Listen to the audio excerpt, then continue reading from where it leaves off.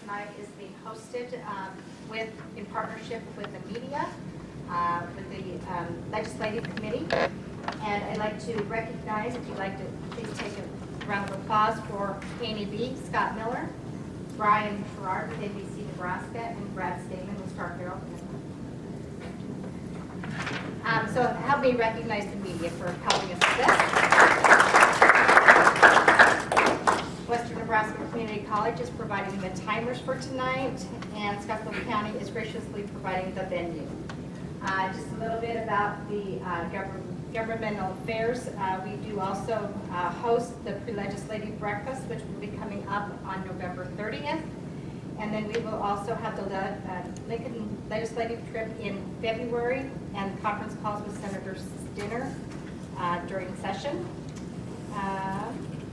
And tonight's moderator will be Kevin Mooney, and we'd like to thank Kevin for his two decades of service helping with forums and other news media in the community. So please give us, a give them a a round of applause.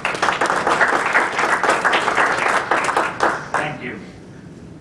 We're going to start tonight. Uh, We have several forms we're going to go through. Uh, We'll do the Terrytown City Council Ward 2 race first, and then the Scotts Bluff School Board race at about 5:50 this evening. It'll run for about a half an hour.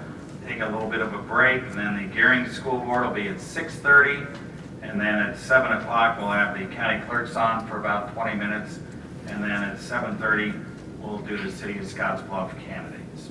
But once again, the first uh, particular form will be Terrytown City Council. We have Jerry Green right here to my immediate right, and then to his immediate right is Mike Minzey. Uh, These two gentlemen will have uh, 90 seconds for an opening statement, and then they have 90 seconds to respond to each question from the media, and an optional 30-second rebuttal following that, and at the end, we'll have a one-minute closing. So we'll uh, start out with Mike. He gets the, uh, to start out with his 90-second open. Anytime. I want to thank, first of all, the Chamber and also the media for allowing me to introduce myself to the voting public. I am Mike Minzey. I'm in my 43rd year at 1 Gary Street, a candidate to represent Ward 2 you know, on the Terrytown City Council. Now, my wife, Lynn, and I have been married 47 years. We've got two children, 40 and 45. Both of them are also married with two children. Presently, I serve on the Terrytown Board of Health and as Terrytown representative on both the Tri-City Active Living Advisory Council and also the Chambers Valley Visions uh, Committee. Now, 50 years ago this month, I went to work for Terry Carpenter Incorporated, then I moved to Terrytown in 1970. I've owned, rented, and lived on present Terrytown property at five different locations over 47 years. Previously, before that, I served with the Terrytown Police Department. I worked in the village of Terrytown for five years, was employed by Terry Carpenter Incorporated for five years, and then also I worked with the village and the city of Terrytown for 32 years as chair and clerk of Sanitary Improvement District Number Three. And currently outside of Terrytown, volunteers, treasurer of the board of Oregon Trail Days, supervisory committee chair for a credit union. I'm County Election Board. They work with Friends of Robidoux Trading Post, Legacy of the Plains, and others. I've held various governmental entity positions of leadership from village to national level. I'm retired from a 46-year housing development career at Kaplan, currently working part-time at Kaplan, and am in my 40th seasonal year at H&R Block. All right, Jerry, again, 90 seconds. I'm Jerry Green, I live in Terrytown, and I've lived there for 20-some years. I'm finishing my third term on the council, or second term, excuse me. And I'd like to go ahead and, uh, we've been going through a water project that's taking forever. And we've had a lot of problems, and we're finally starting to see an end to it. I'd like to be there could see it finished. Thank you. All right, the first question tonight will be from uh, Brad Staman. Terrytown has, uh, well, first of all, Jerry, Mike, thank you for taking part in this tonight. Uh, First question would be, uh, Terrytown has a number of vacant properties. How would you address handling these and the problems that come with them? Jerry, you're first.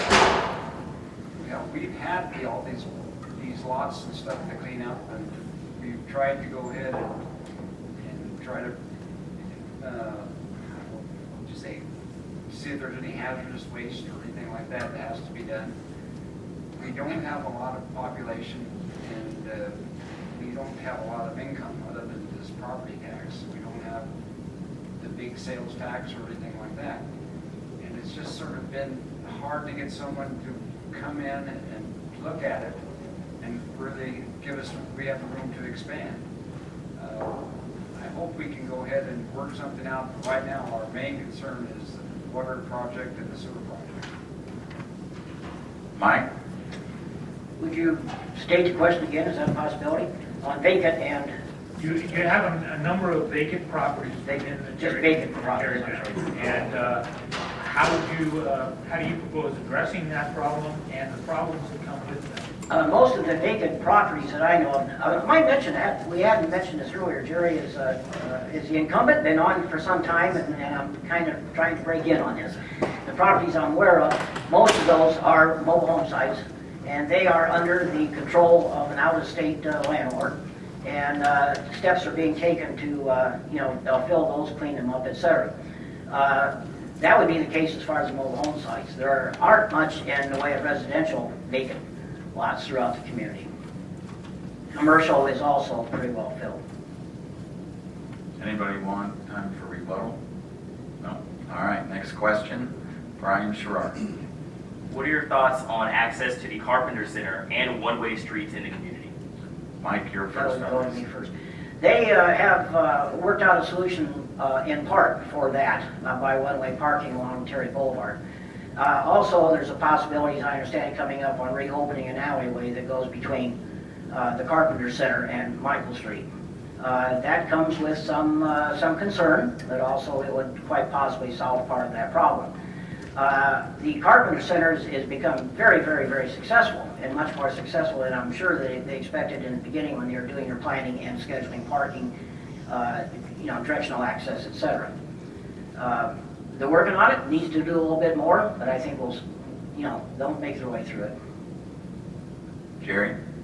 Uh, we- We went ahead and, uh, and tried to make the Carpenter Center our number one pro- project there. And then, like I said, it's grown under uh, Bob uh, Nimnick, and he's really im- improved the deal. They, they've built another gym, they've got a fantastic gymnasium class, and uh, they, we bought, the- they purchased another, the, the, the, uh, housing, low housing has picked, purchased a lot that we're gonna turn into parking for that. And we finally worked something out, hopefully this is like the third time that we've got something to try to get the traffic set so we don't have such big crowds and people have to walk so far. Any rebuttal? No. Okay. Scott Miller uh, with the next question. I'm just going to stop at Scott. Um, Of course, the water project was mentioned earlier. And one of the controversial aspects of it has been the metering uh, part of that project. Uh, What would you say to those who have a problem with the metering? and How would you handle giving them feedback on the issue? Jerry, you're first. Right, we were having this problem, we've had it for years, and then we, our wells have went where they, we couldn't meet the standards anymore. But we had projects where, or beginning with the the houses, people were irrigating every day, twenty-four hours a day. Or even in the wintertime, they would be wintering, you know, because we didn't have any meters and no way to control how much we were using. And uh, the state sort of forced us into doing this. We've had problems with uh, the meters, we've had problems with getting the financing and problems meeting the, the, thing that- the- what we have to do to make this work. And uh, hopefully we, we'll finish it up in maybe another year, year and a half. Mike? Uh, I think there's three phases on this water project, and uh, it's it's been, like Jerry said, a long time coming, probably a 10-year thing. But uh, the first phase, which was getting new mains and et cetera, those, that's been taken care of. We're now in that second phase, which is going to be the water metering, as you're, as you're talking about. There is going to be a major educational requirement that's going to be necessary there to uh, continue to make people aware of what's going to happen. There's going to be people who have been using flat rate water for so long that they're going to have a very difficult time trying to adjust uh, to this particular situation. Over the last two or three years, uh, the city of Terrytown has held several uh, informational meetings. And, you know, the, the word has been available as to what's coming on. And, uh, and it's going to be tough. Uh, You know, there's going to have to be insertions in, in water billing, for instance. Uh, We're going to have to work uh, on uh, a situation so that we don't have a tremendous increase in, in water costs on the bills. But it's, it's going to be an educational process, that's the big thing. Going to have to educate uh, the, the uh, citizenry to, to the fact that more than likely the water bills are going to go up and they're going to pay for what they use. Any rebuttal, Jerry? Yeah, I'd like to clarify. We're, as the city of Terrytown, we're going to go ahead and- and go like a month or two months just to get them used. We still won't change the rates after it's all set. To get everybody used to what, we'll give them a price of what it's going to be from where they are, and then they'll have to make the adjustments. I mean, because we, we're just wasting water, and then we end up paying for sewer more than we have and everything else. So hopefully this will work out. Mike? Nothing on it. Okay. Brad Staman with the next question. What are your thoughts on the Bellevue area and the possibilities of annexing it into the city of Terrytown? Mike, you go first. The people in Bellevue have pretty well expressed their opinion that they are uh, not in favor of that. Uh, It would be nice to annex Bellevue for a variety of reasons.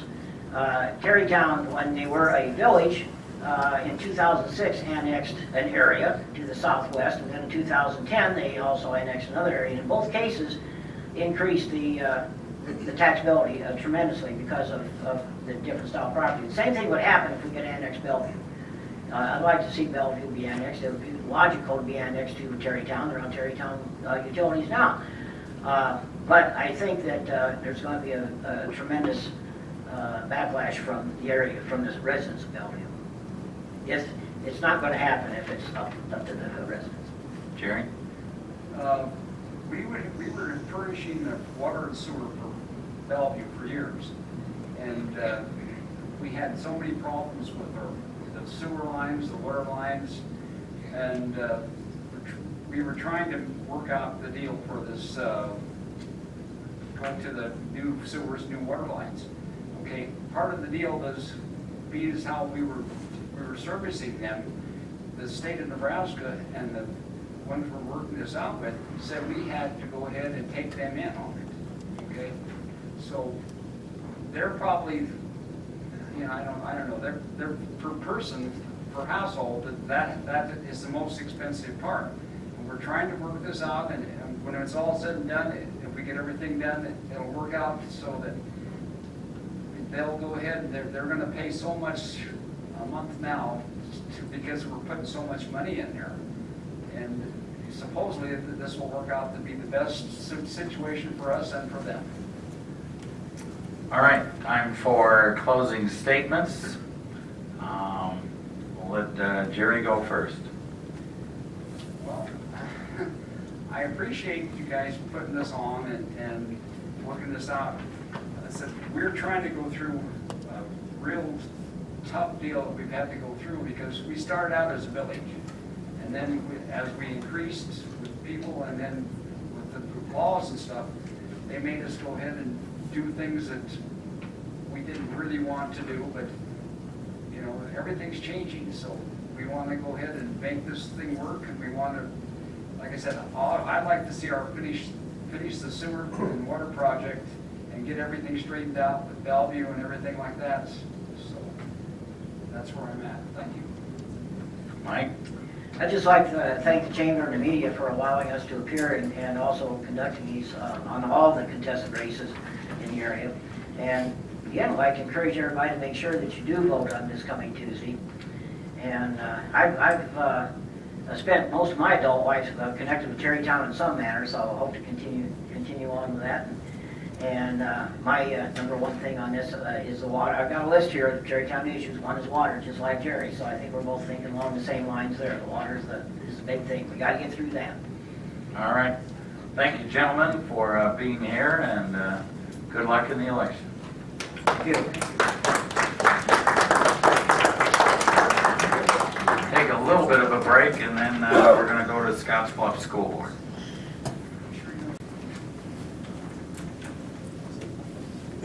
All right, we're a little early, but I think we can uh, move forward now with the Scotts Bluff School Board candidates. And for Scotts Bluff School Board, we have uh, Ruth Kozal over here.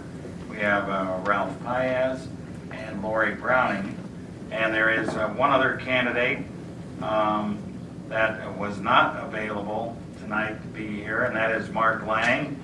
He gave us a short statement, and I'll read that for Mark.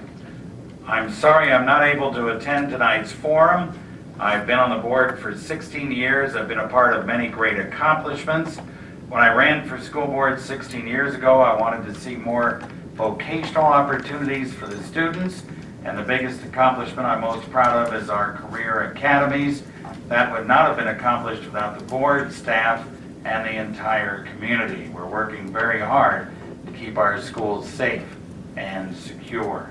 That's the statement from uh, Mark Lang uh, this evening.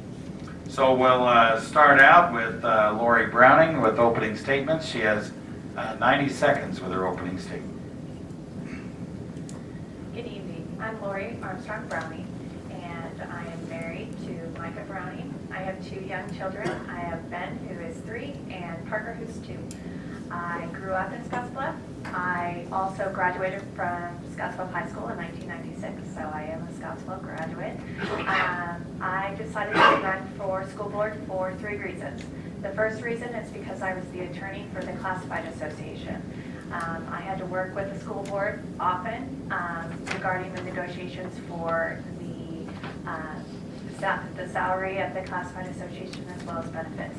One of the things I learned from working with the school board as well as going to conferences is that sometimes the school board has to see things as a business decision, or they do see things as a, a business decision.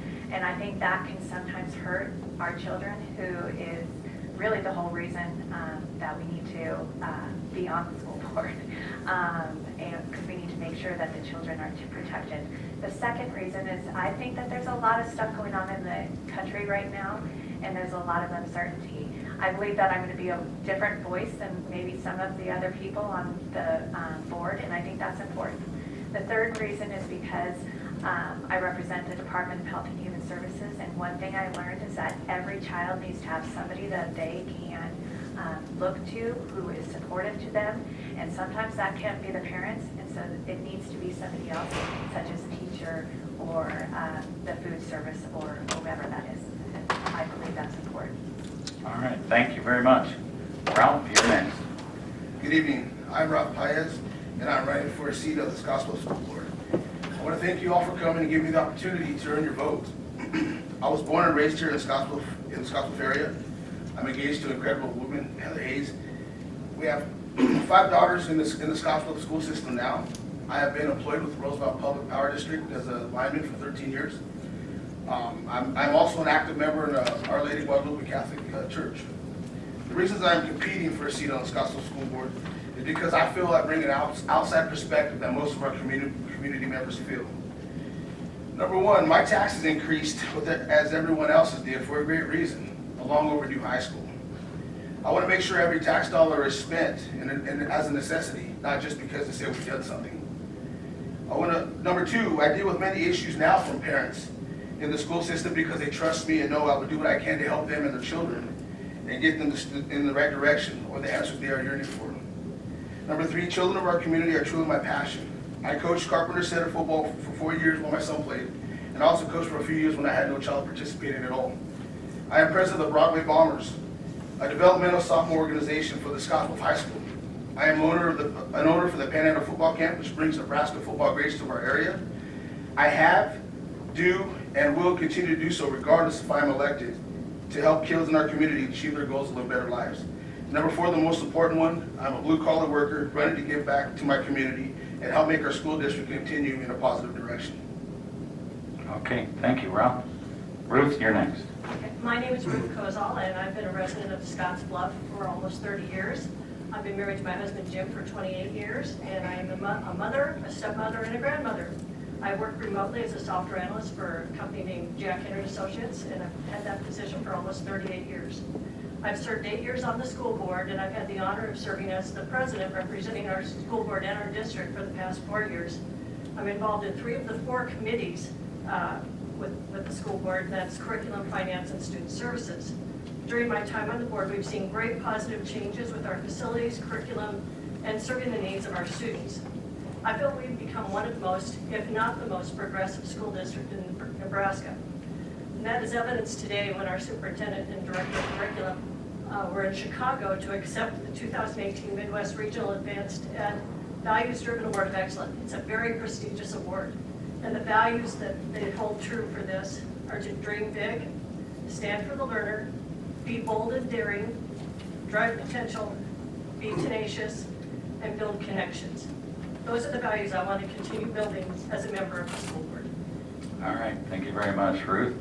All right, first question, uh, Brian, I guess it's your turn here, and uh, Ralph, uh, you'll be first to respond.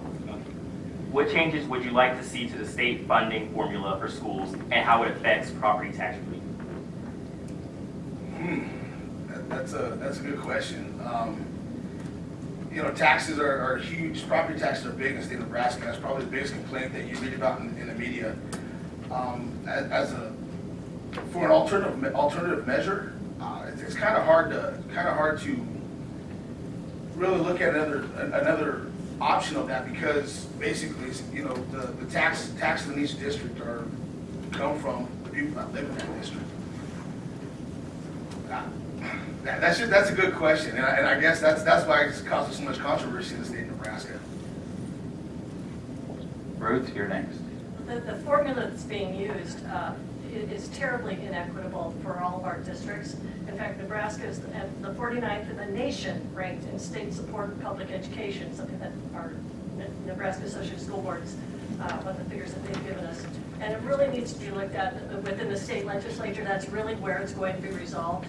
Uh, There are things such as um, sales tax on online purchases, which they have not, they've rejected thus far, and there's absolutely no reason for that, I don't, I don't feel. But it's something that we definitely have to address because uh, we have, uh, the property taxes that we pay here are entirely different from what has to be done on the east side of the state. Population has a lot to do with it, but our, our farmers in particular are terribly overtaxed in this area.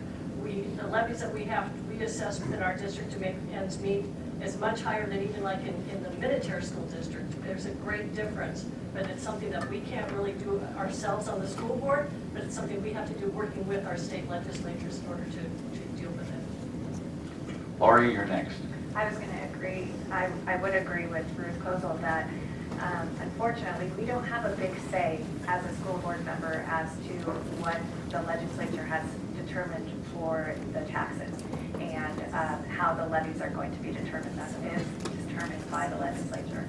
Again, the school board, what we can do, along with members of the community, is go to our senators and go to our lawmakers and try and get something passed um, so that there is some different ways of determining what the taxes are going to be. Again, you know, our, our farmers who are paying such a high amount for each of their acres, um, it is hard for them, and it, I, I can understand why it's um, difficult for them.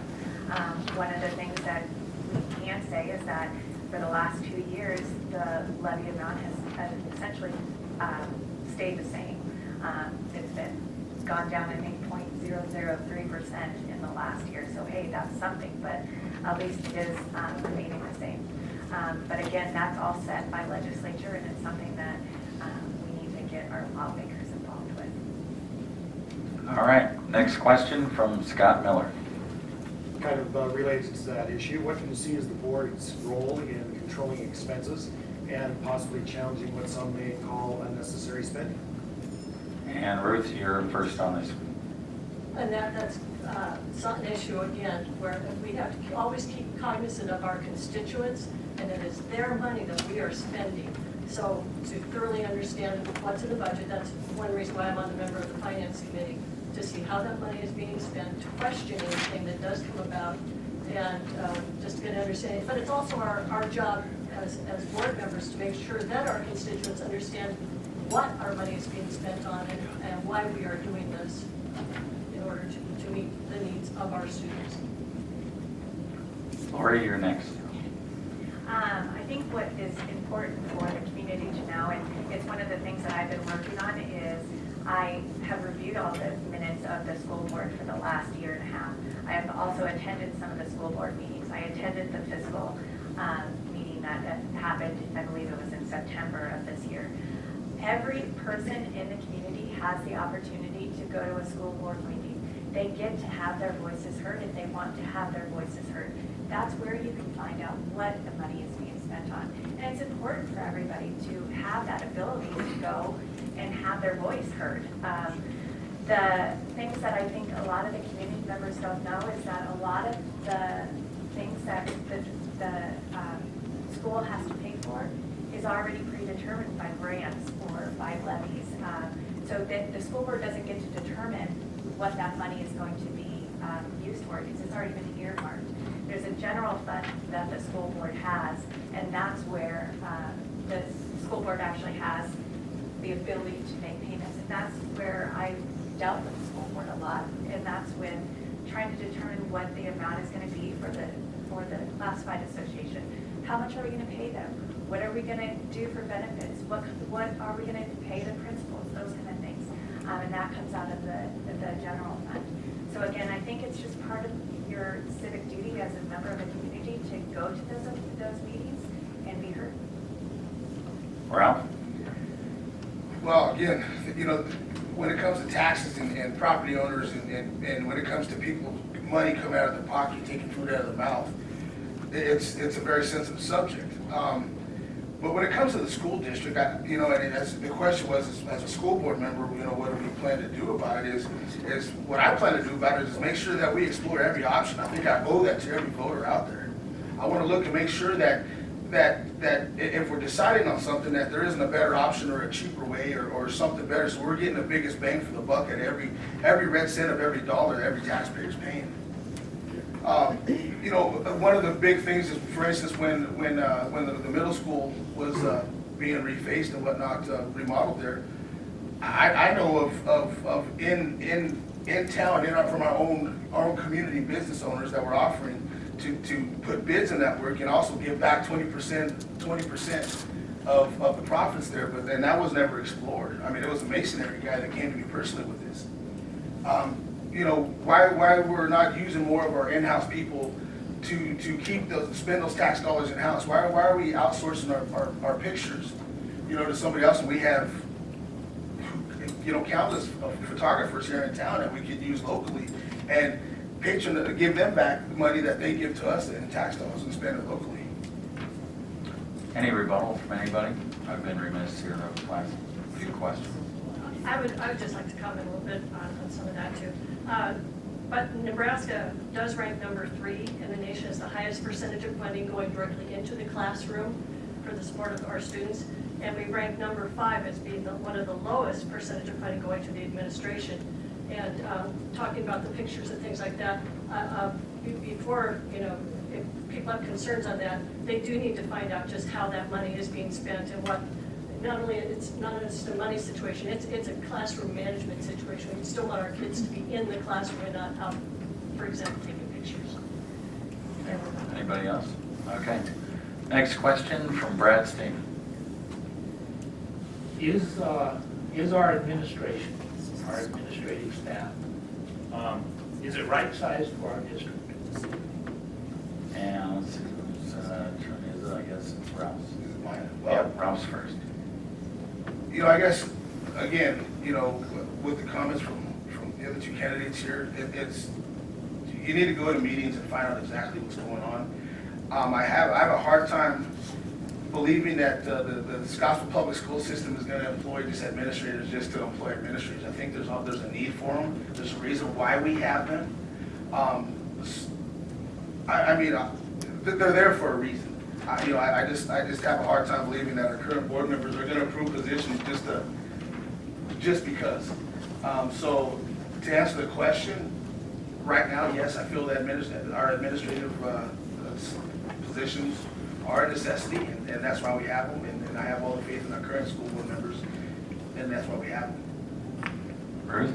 Okay, um, because I am a member of three of the committees, uh, we deal directly with the administrative, you know, the the curriculum, uh, the CF, head of the curriculum, CFO, uh, head of student services, and I tell you, when going in those committee meetings, I am amazed at how much they have, to what ground they have to cover, uh, and to serve the needs of our students day in and day out, and those people work tirelessly.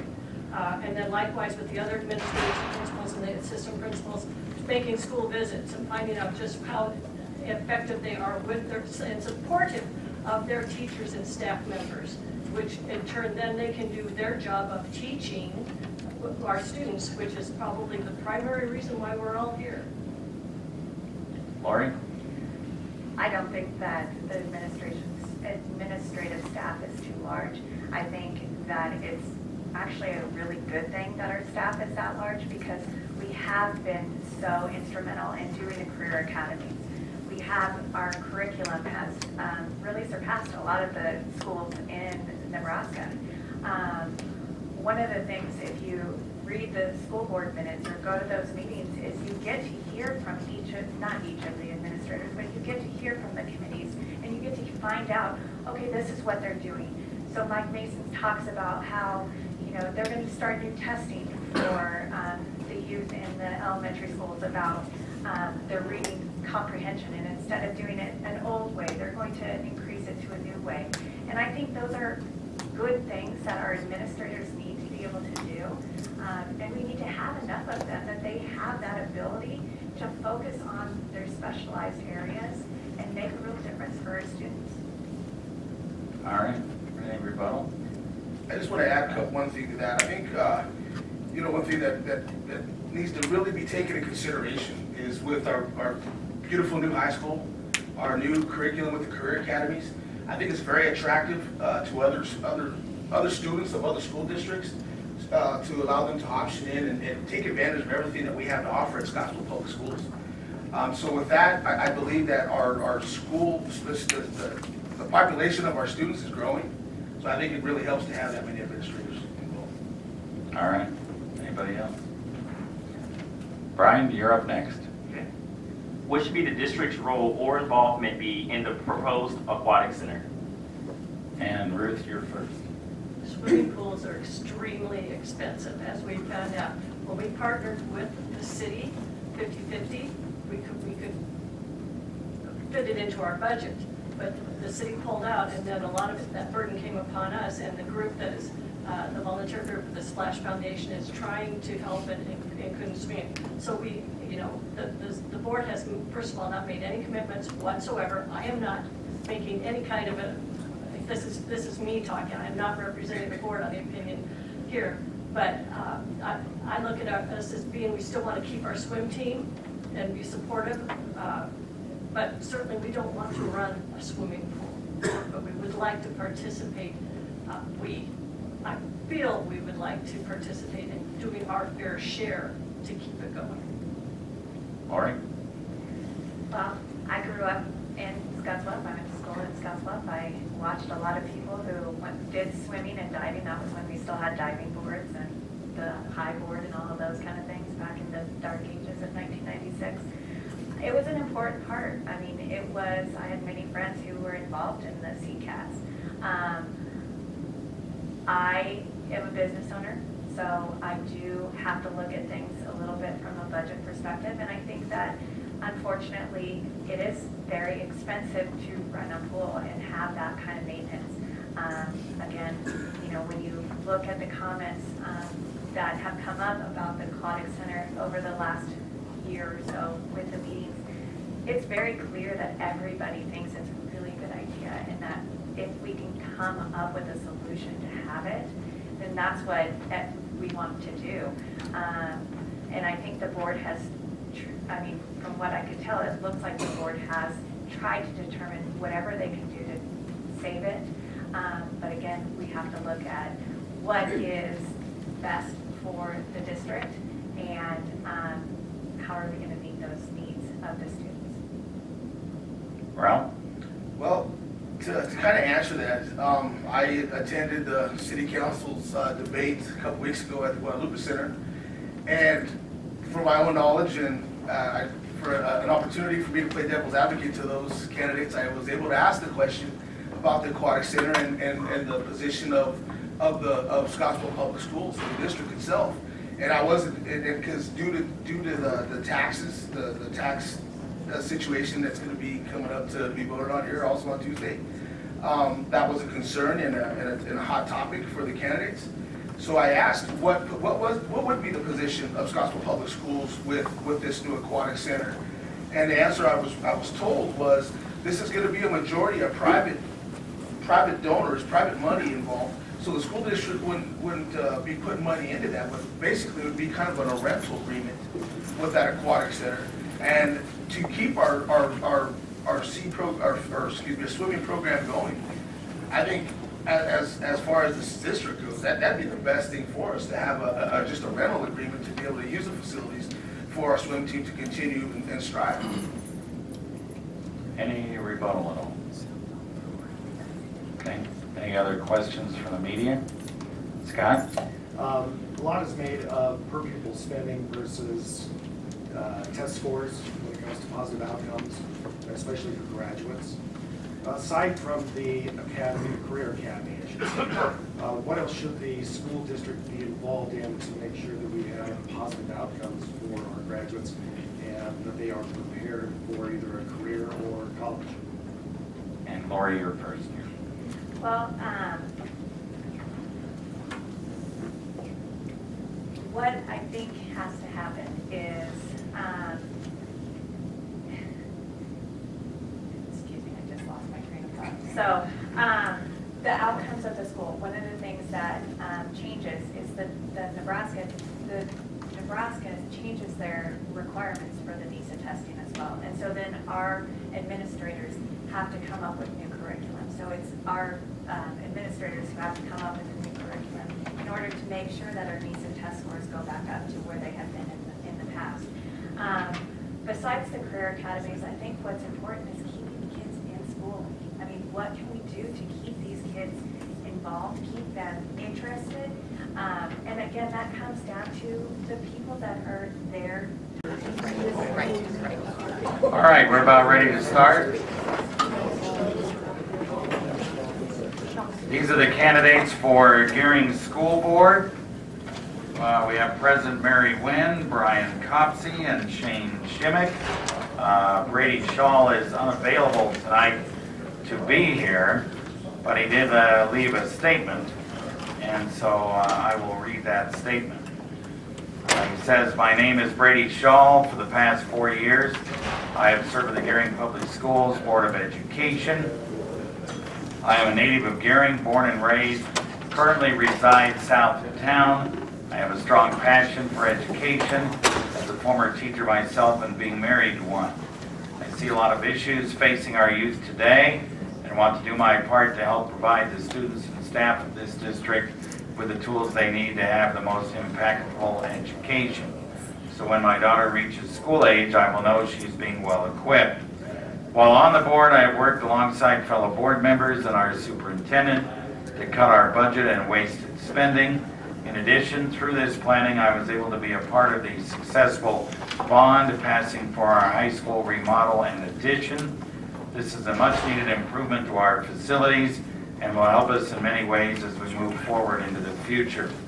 With my construction background, I have been able to provide insight during these beginning phases of this project. A key issue that faces our school district is our upcoming grade reconfiguration and career academies. This will be a drastic change with a lot of moving pieces. Gering is the only school district in the state that is still a 10 through 12 grade high school. Part of this realignment is the high school remodel addition previously mentioned. It'll also make the conversion to a 9 to 12 high school. We will have to make sure the move is an easy transition for the students as well as the staff. Staff reassignments will take place and will take a great deal of planning. Within this move will also be on the ongoing push for career academies and how we can provide our students with as many opportunities as possible. In the last four years, I've learned a lot being on the school board, but still have even more to learn. I will continue to strive to provide our staff and students with the resources they need. My passion is that every student would receive the best education possible and eventually be an active contributor to our society and community. And that's the statement from Brady Shaul, who again could not be with us tonight. So, um, looks like Brian won the toss, elected to receive, so he will be the, he will do the opening statement, he's not deferring or anything like that, so Brian, Is you're, that an option? I don't know whether it will. All right, I'm Brian Copsey. I'm running for reelection for the Gering School Board. I lived in Gering most all of my life and graduated from Gering High School in 1987. I've been married to my wife Camden for 29 years. We have four kids who've all attended and graduated Gering. My wife and I are business owners in Gering, and my son Brandon now works with me in our local business. I served two terms on the Gering School Board, and I'm proud of the work we've done this past eight years. The year I got elected, the bond was passed for construction of Lincoln Elementary School. The project came in on budget, on time, and was a terrific improvement for the local community and allows us more room in our elementaries. We also have had to make tough financial decisions as we deal with state funding constraints. We closed and sold the Cedar Canyon School and moved those students into the buildings in town. We've overhauled our reading program, updated our math curriculum, and are currently working on grade realignment as we change from a junior high building to a middle school. The bond for the high school had overwhelming community support, and that project is currently on time and on budget and has generated a lot of excitement in the district. I bring eight years of experience to the school board. I have served as president of the board for the last two years. If reelected, I will continue to work hard to be an advocate for our students, supportive of our staff, and financially responsible to our community. All right, Shane, you're up next. Yeah, my name's Shane Schilling. I'm originally from Goshen County, Wyoming, born and raised there. Uh, Then moved to Gering 12 years ago. Uh, We established a grain elevator business down here. I've been managing and regional manager of that for the last 12 years. Uh, I have three kids, a set of twins that are 12 years old and uh, eight-year-old, all attending the Gering schools. Uh, Basically, the, I'd like to get more involved in the community, see where I can help on my experience, my knowledge in the past of uh, building and working with people and growing businesses.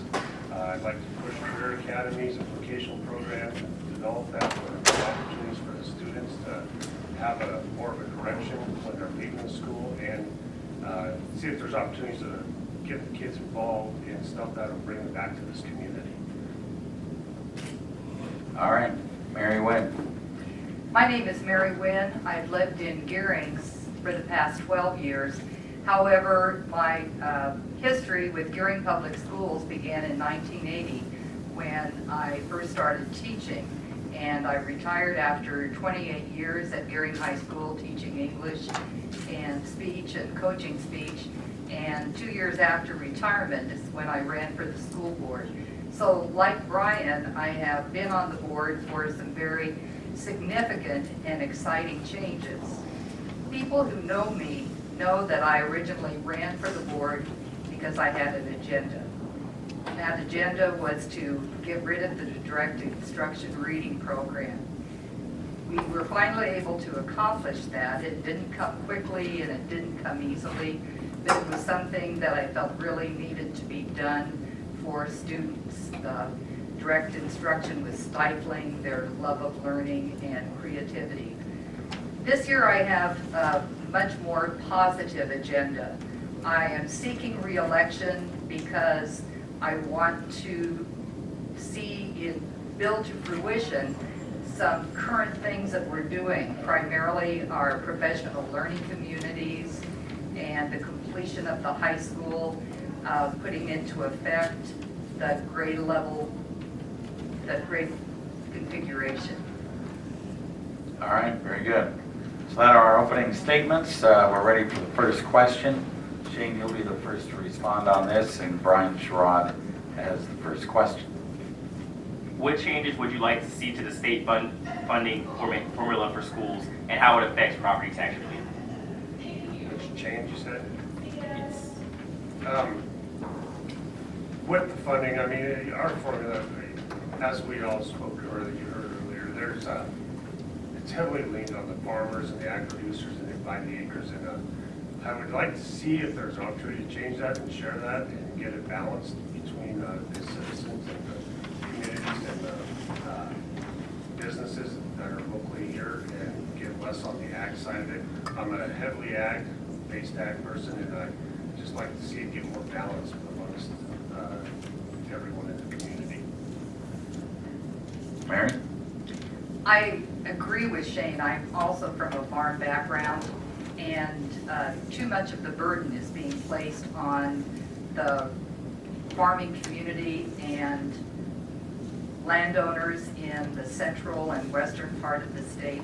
We need uh, different uh, balance so that we are, so that the eastern part of the state is paying more of its share.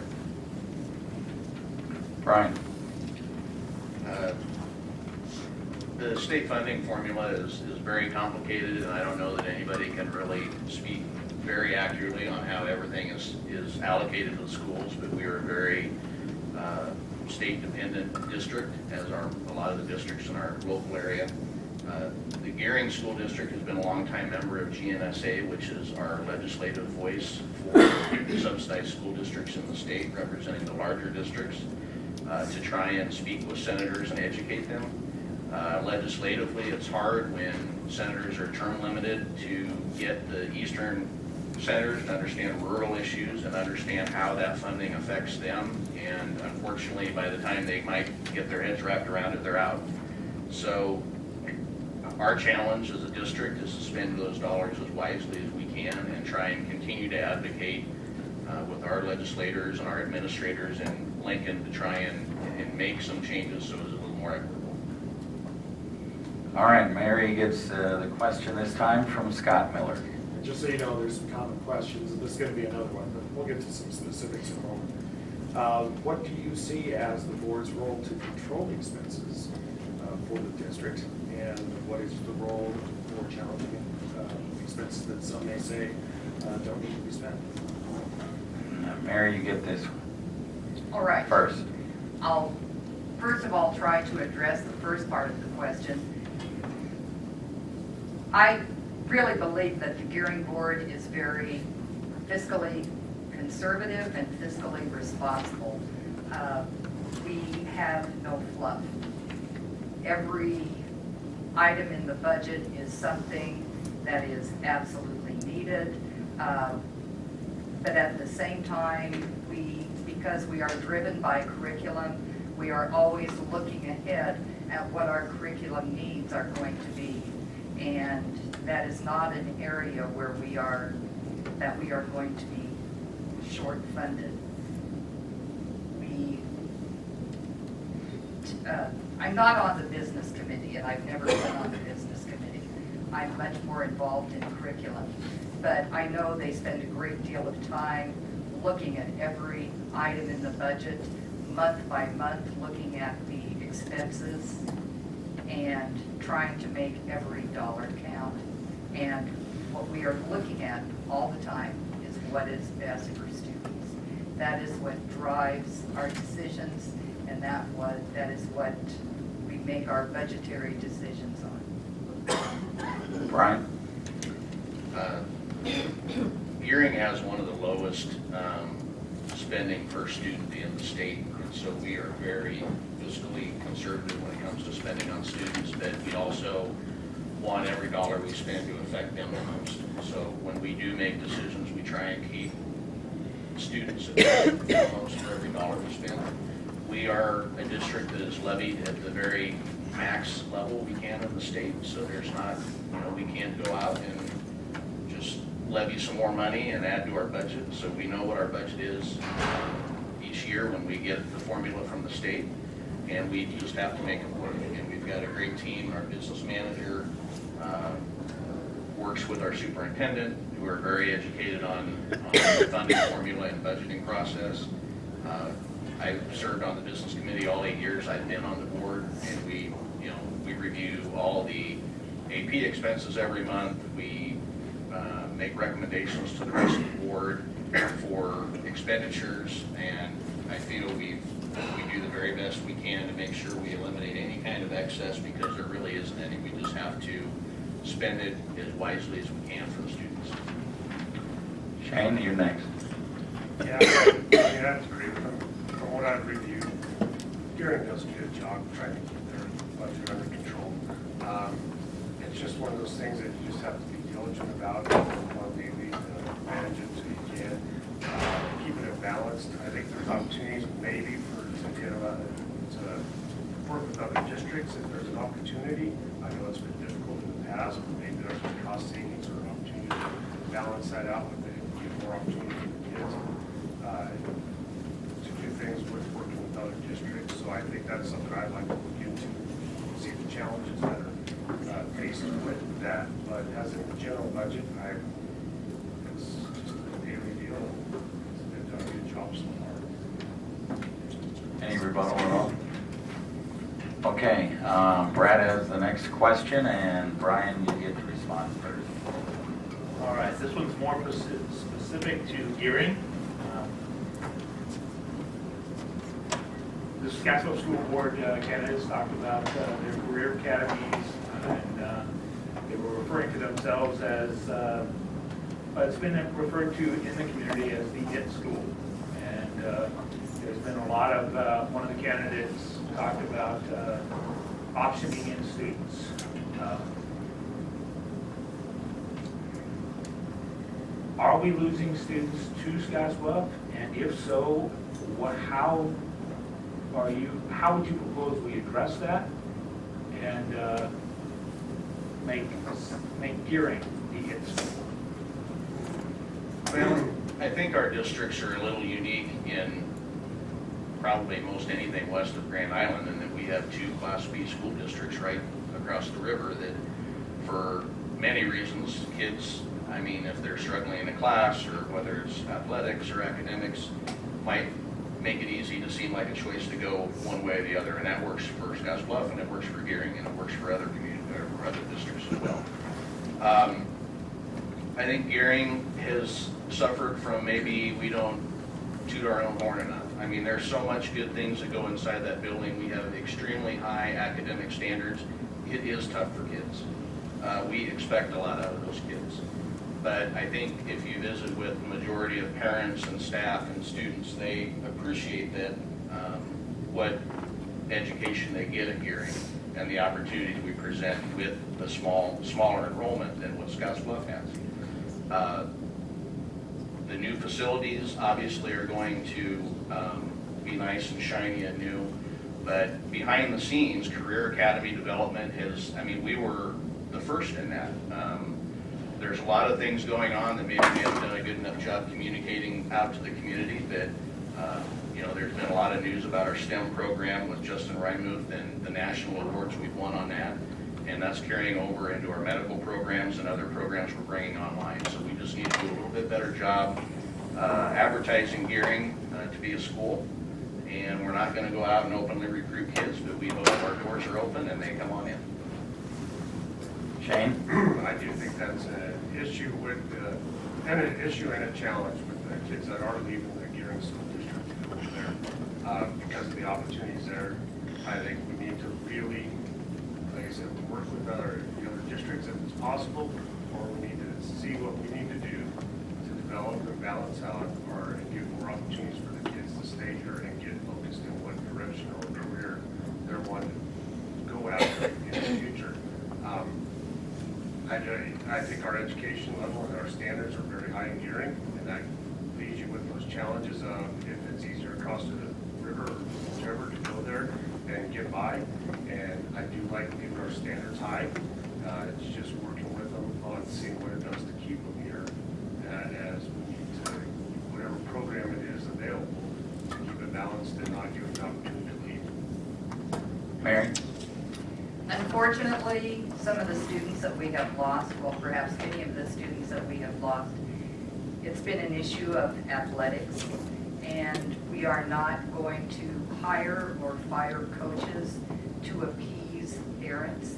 We are going to do what we do best, and that is offer a high academic level of education.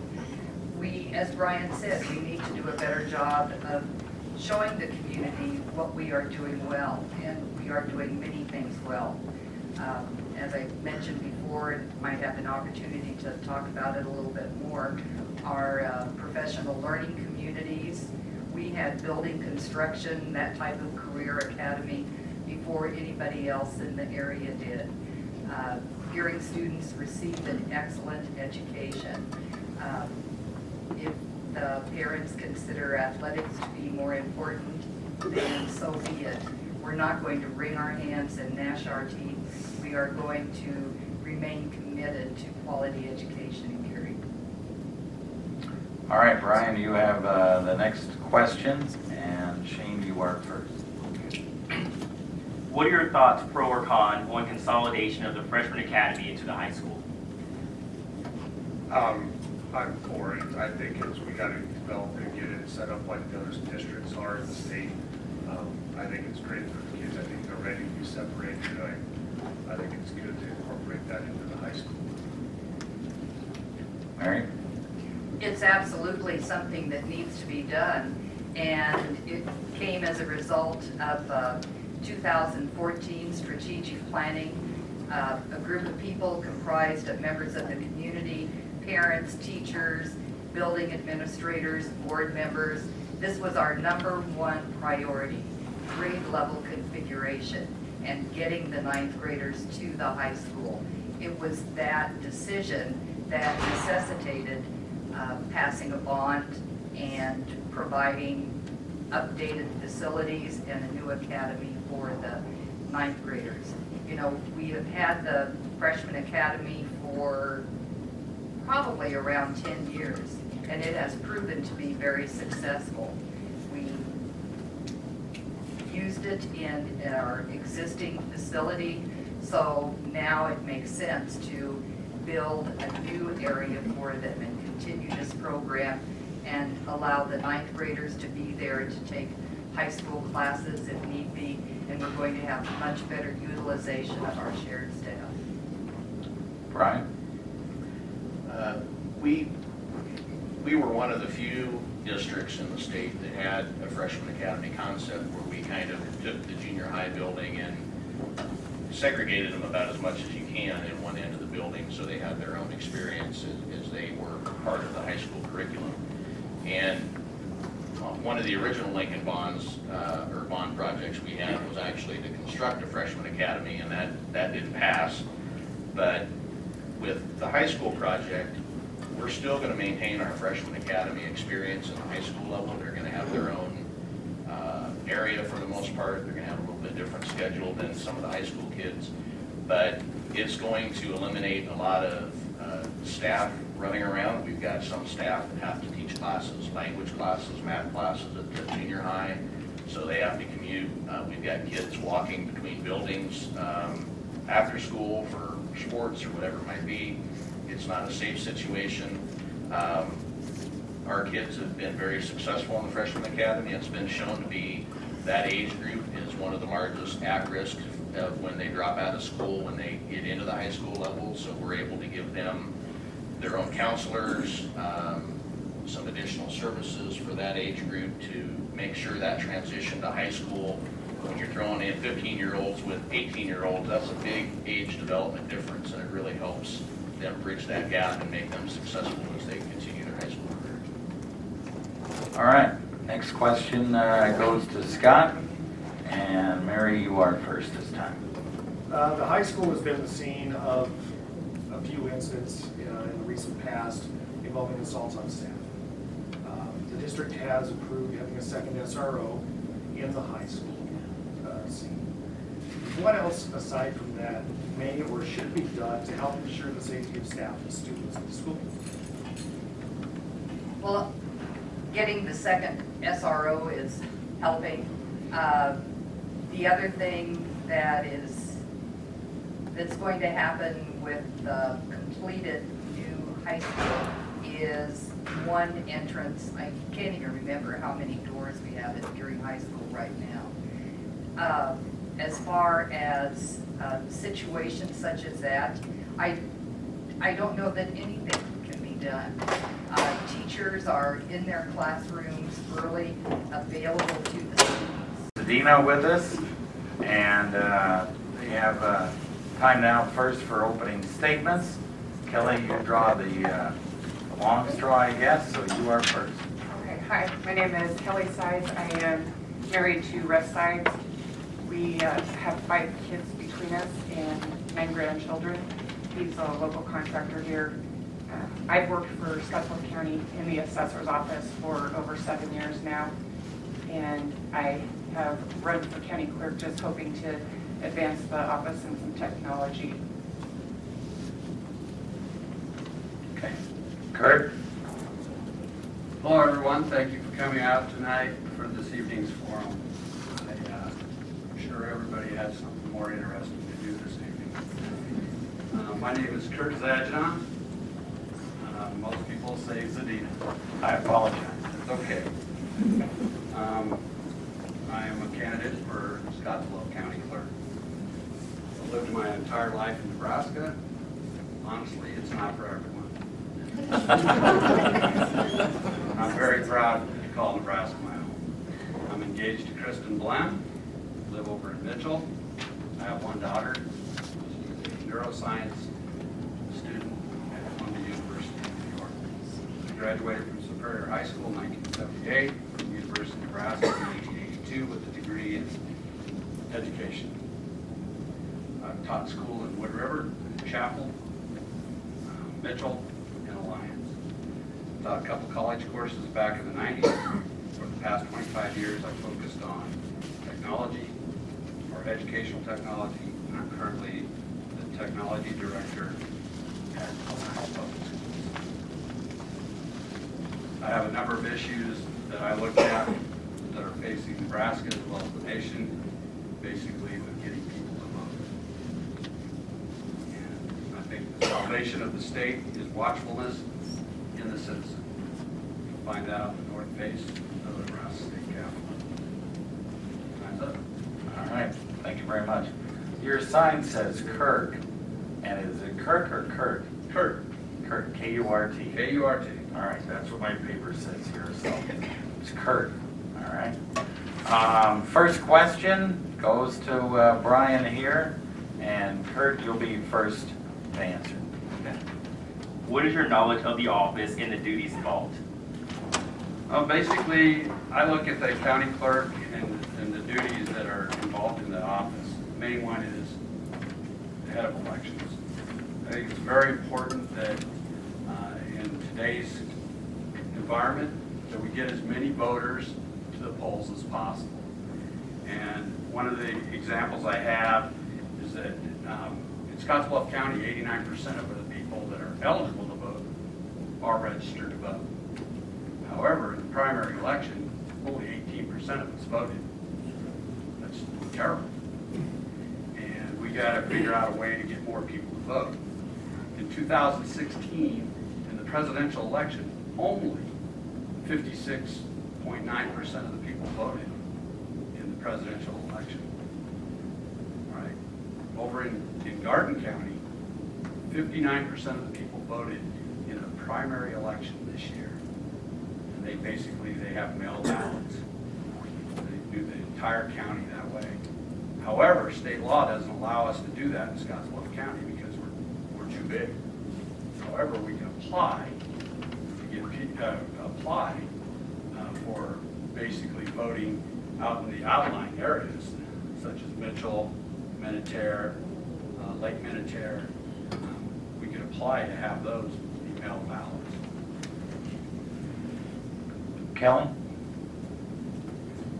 there is a lot more to the office than just the elections. Um, They are, I will be the secretary to the commissioners twice a month. We handle payroll for the county. We handle payables, take the claims from office heads and elected officials. So um, we work to streamlining that so it's easier to get that information from the elected officials to, to the clerk's office to get bills paid. And time card wise, I don't know how, if they're, you know, look into whatever we can do to make it anything easier for everybody that runs the, the different departments. Any rebuttal? No? Okay. Scott, you are next, and Kelly, you'll be first this time. What type of things would you like to bring to the office to help improve that efficiency of those items that are responsible, the county clerk's responsibility, including the elections and the items that you had mentioned? Uh, I'd like to utilize the program that we use, uh, the company that we use, uh, advance that, the technology to be more current, to interact with the other department heads. And, um,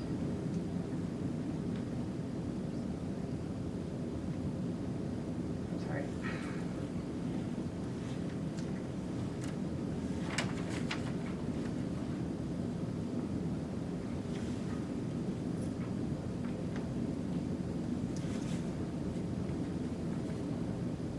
I uh, for a company where I did create a database, so I just know that I have the knowledge to learn how to do what needs to be done. Okay, Kurt? Uh, Basically, for the last, uh, about 28 years, I've been developing databases in all different types of capacities for schools around the state of Nebraska. In 1980, or 1996, um, I actually developed an electronic database in, in the Omaha uh, area so that school students could vote online for the uh, election. I've created all kinds of databases from uh, um, time clocks to uh, uh, curriculum development. Uh, Does that side with the county? Not so much. Uh, I work with a, a company um, out of uh, South Dakota that deals with payroll. Um, And yes, there are all kinds of things that databases for. If they don't make things simpler, save money and time, they're usually not worth doing. And that's, that's my philosophy behind uh, using technology in general. Um, I think that uh, basically helping the, all the departments in the county succeed at what they're doing and, and saving them time will save the taxpayers uh, money uh, in the long run. And that's something that I look forward to doing. Kelly, any rebuttal? Okay. Brad, you're next with the question, and uh, Kurt, you'll be first. If you are elected as uh, Suffolk County uh, Clerk, what do you see as your role with the county commissioners? Well, it- number one, I mean, you're the clerk, the official clerk and and secretary, to a certain degree to the, to the county commissioners. And mainly making sure that uh, any of the commissioners um, basically um, orders that they, they uh, need to have uh, published in the newspaper and so on and so forth, get published in a timely manner. Because they can't, uh, you know, they can't go on and, and um, do, do their due diligence if they don't have things reported in the paper for meetings or uh, positions on certain types of uh, um, policies that they're coming up with. And I think that uh, um, making sure that uh, have a great working relationship with the, with the board. I mean, I want the county to succeed, and in order to do that, um, you have to help the board succeed. You guys still having problems hearing back there? Um, Just make sure you're really up to the mic, okay? Like I am here, all right? So make sure you're, you're really up to the mic so everybody can hear, and that way we can also get it on videotape too, all right? And some of you in the back may decide it's not church and you can move up front. All right. Thank you. Okay, Kelly, you're next. Well, what I see is, uh, I'll be a go-between between the public and the board as well, a liaison, if you say. uh, People coming with ideas that they haven't been able to approach the commissioners themselves. So I'll be that sort of role too, aside from getting the meetings ready for them and publishing the agendas. Kurt, any rebuttal? No? Okay, Brian, you're next. Okay. What are your thoughts, pro or con, on switching to all mail-in ballots, if that would be allowed by the state? Kelly, you're first on this. I am going to have to look into this. I've talked to people both ways. Uh, I was told it was a very bad idea. It was a dumb idea. I know it's my job to get people interested in voting.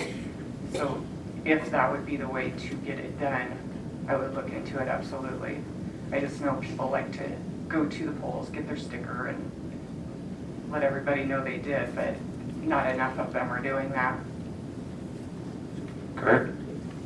Well, I, I think it's probably a good idea, and the reason why is because in the primary election alone, eighteen percent of the people that voted, voted by mail-in ballot. There were seven hundred and forty-nine ballots sent out, six hundred and eighty-eight of them were returned to the county in the, in the primary election.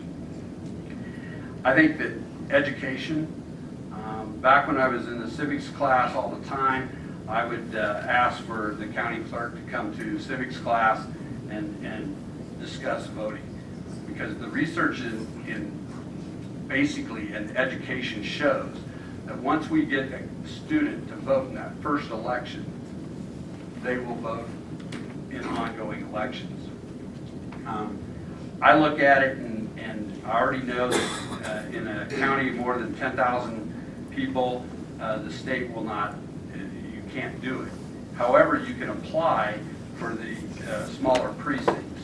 So most likely, um, Scottsbluff and Gering would not be able to vote by mail-in ballot.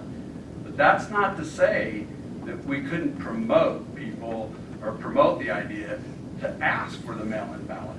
Back in 1980, or I'm going to say 1978, when I did my first absentee ballot, you had to give a reason to be absent. Well, I was in college in my hometown. It was a long drive. They allowed us to do it. Now you don't have to do that. Any other questions from the media? Um, We will start with uh, closing arguments, and Kurt, you are first. Again, thank you for uh, coming out this evening and to the forum. Thank you to the chamber and the media uh, for sponsoring this. I think that, uh, like I said in my opening, uh, basically the, the salvation of the state is watchfulness in the citizen. And it's so important that as, as citizens that we participate, not only in elections, but we participate in forums like this. Um, My background in technology utilized greatly here in the county. Um, And I think that, uh, like I said, to be, uh, I want to help the county uh, succeed in doing what they, they do. And in order to do that, it's very important that uh, I, I learn the roles of all the county um, offices and uh, work with them in due diligence so that they, that they can succeed. All right. Kelly? Thank you. Yes, I'd like to thank every, the media and the chamber, of course. Uh, I want to make some changes just to streamline some processes. I want to advance the technology to office, for our offices to talk with each other. I want to establish a relationship with elected officials in this county and other county clerks, you know, get some guidance from them how to, to uh, proceed with the, the new job. And uh, I am very willing to learn and always have been eager to do that. Um, I'm not afraid of change. And thank you. All right. Thank you very much, Kelly and Kurt, for uh, being here tonight. Thank you very much. Candidates are next.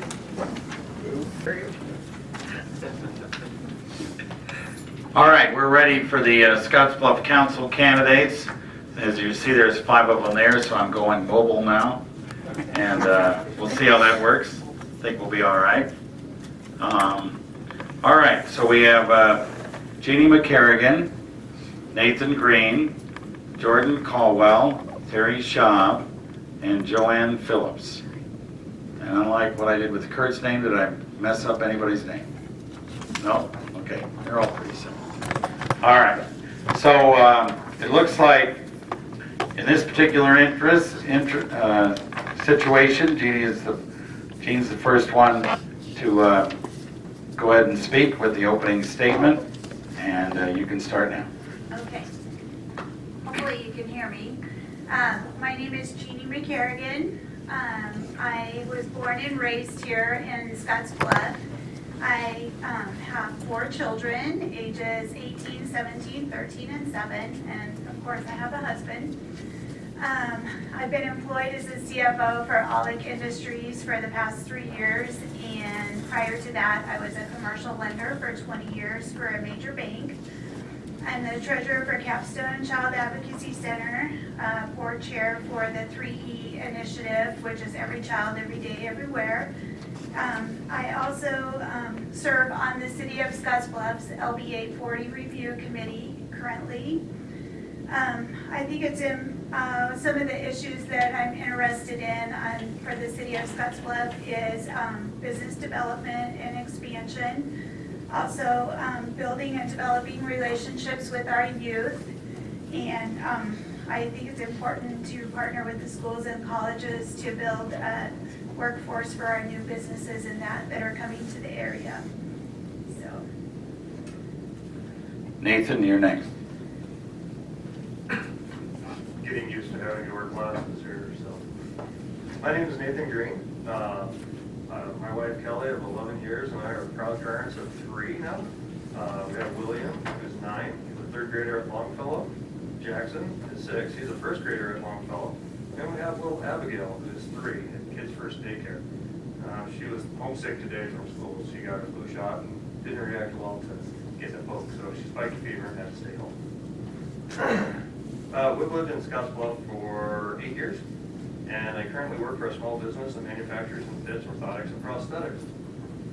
Uh, I was raised in Omaha, uh, went to school uh, in Kearney, where I received my bachelor's of science in education. Uh, Furthered my education in White Bear Lake, Minnesota, where I earned four more degrees from Century College um, in the orthotic technician, prosthetic technician, orthotic practitioner, and prosthetic practitioner. I was raised uh, a third degree master mason, a lifetime member of the NRA, Eagle Scout, and enjoy hunting and fishing and backyard camping with my family. Um, I currently am uh, a Cub Scout master for Pack 5, and uh, I would love to have the opportunity as city council. Um, Can't quite see the sign behind you there, so I don't know how long I'm going to apologize. All right, Jordan, you are next. Okay, well, good evening and thank you, Chamber, and thank you to the local media for hosting this event. My name is Jordan Colwell, and I am a lifelong Panhandle resident. I continue to be aware of the issues and opportunities here for the city of Scottsbluff. I'm a registered nurse and I'm the Director of Clinical Services at Regional West Physicians Clinic. I'm very active in the community and I volunteer in many organizations.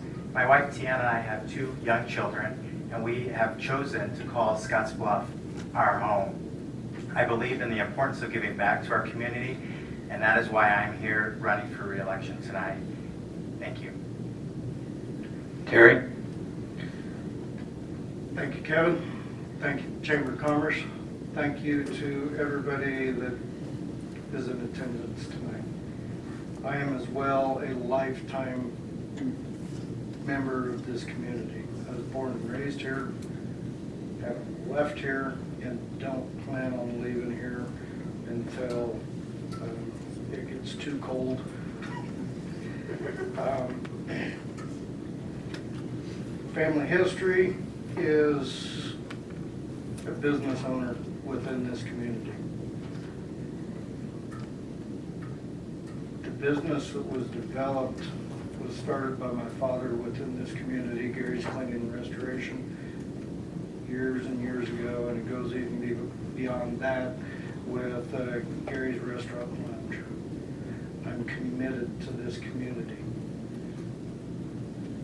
My children have moved out of this community because there's nothing here for them within this community. I have volunteered many hours with the Scottsbluff City Fire Department, Scottsbluff Rural Fire Department, and Mitchell Fire Department. I am currently the district rep for ABATE, Nebraska. And I just got my 10 seconds.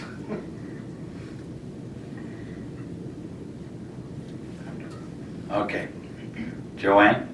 Hi, I'm Joanne Phillips. Thank you so much for inviting me here tonight. I'm grateful for the experience of um, speaking to you and also for the experience of being able to run for city council. My husband Blair is in the audience and I want to thank him for supporting all of my adventures and he's on with me. And um, we moved here four years ago, so we're transplants. But um, we got off uh, when we first came here and the next day my husband said, I love it here. He's from a larger city than I am.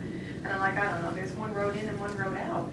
But we stayed around and um, talked to different people, went to different businesses, and it, it was the welcoming attitude and the um, community uh, atmosphere that um, we accepted our jobs here. We both work at Regional West. And um, so here we are, and we call this home. So Nebraska is not for everyone, but it sure is for us. So I am the um, current director of behavioral health uh, program at Regional West. For the past um, four years, I have been director of risk management, and I've taken on this job uh, now. So I'm very excited, and I'm very interested in mental health needs in the community, especially adolescents. And I've spoken to Senator Stinner and um, the governor, and we're all partnering to bring more services to the community. Um, I have a background, I'm a registered nurse. I taught health law and uh, bioethics at um, Texas A&M, so I bring with me a very thoughtful uh, manner in thinking about what is the best for everyone. So that's why I'm here. Thank you. Thank you. Okay, we'll get to the questions now. Nathan, you'll be the first to respond, and Scott will ask the question. Well, coming up on the November ballot, along with you all, is the LB 357 half cent sales tax on infrastructure uh, for specific items for the city of Scottsbluff. If you would, please uh, explain your stance, pro or con, for this proposition. I think the infrastructure is an important and imminent issue. Um, Making sure that we put money back into the roads, the water, power, sewer, waste, and um, gutter systems. Um, I think that's always going to be a challenge. They're always going to be aging and they're always going to need updating. Um, I think that we need to do that in order to maintain a self, safe, and healthy environment, which uh, not just for the residents, um, the household and yards, but it'll help uh, be a better basis for like schools, business and commerce by being a more attractive community as well. I have been on the fence on this, uh, on the direction that it was. Um, I did miss the, uh, uh, meeting about it, um, prayer commitment, and was, uh, disappointed, uh, that I did miss it. I was looking for a little more opportunity to research.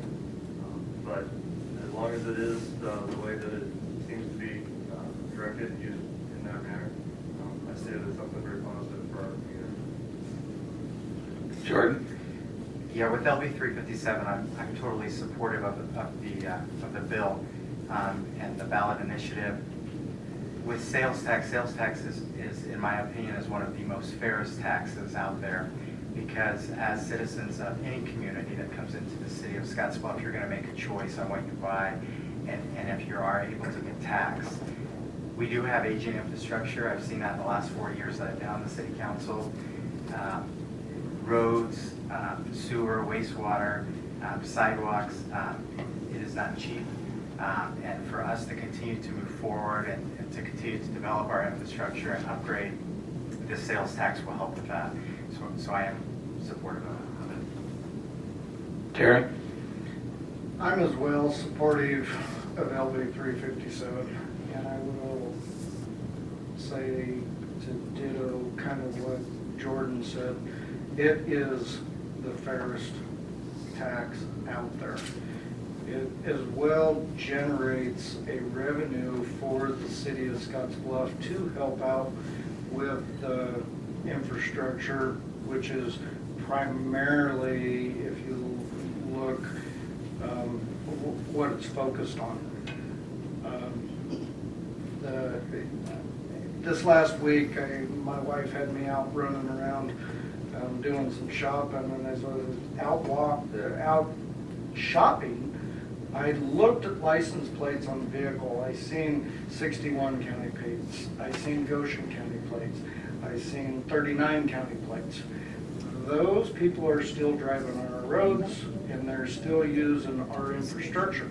Now, they're coming in and assisting within our sales tax to help rebuild our infrastructure.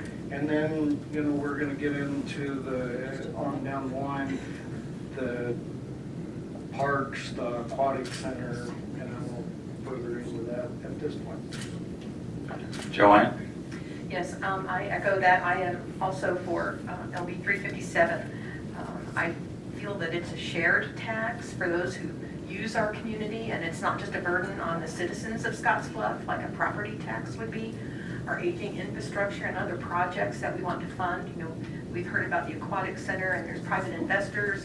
Um, Those people would come here for events and things like that and bring in, that half cent might not seem like a lot, but it is if you increase the volume of people that are paying that tax.